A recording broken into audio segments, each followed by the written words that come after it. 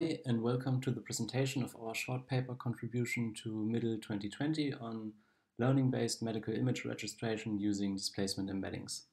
My name is Lasse Hansen and this is a joint work with my supervisor Mattias Heinrich.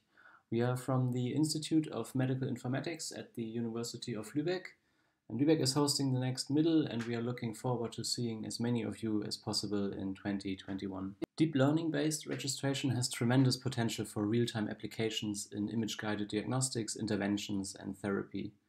Conventional registration frameworks, as seen here on the right, typically need a large number of iterations to optimize the target metric.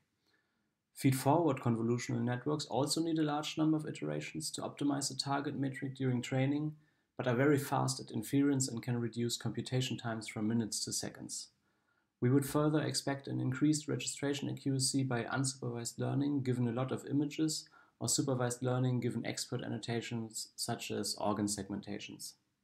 However, often deep learning approaches still fall behind conventional registration frameworks, especially for applications where large deformations exist, such as registration of interpatient abdominal MRI or inhale to exhale CT lung registration.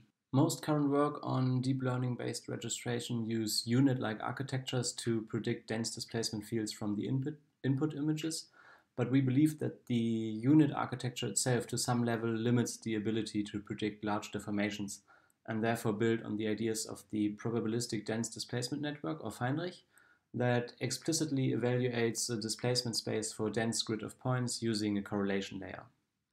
The computation of a dense displacement space is very memory intensive, and in this work we lay the groundwork to limit the computational burden by sampling key points that form an irregular grid and predict the final registration from a low dimensional embedding of the displacement maps.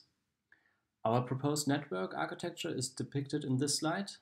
First, dense features are extracted from both the fixed and the moving image using a lightweight CNN, in the fixed image, features are sparsely sampled at descriptive key points that are extracted, extracted using the Förstner operator.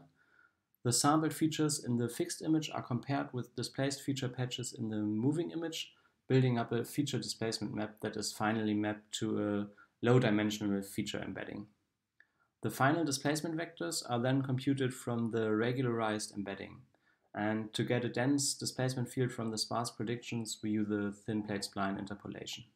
Experiments are carried out on inhale to exhale CT lung registration and as this short paper is mainly a proof of concept for the irregular keypoint registration and the idea of displacement embeddings, we make some simplifications in our experiments.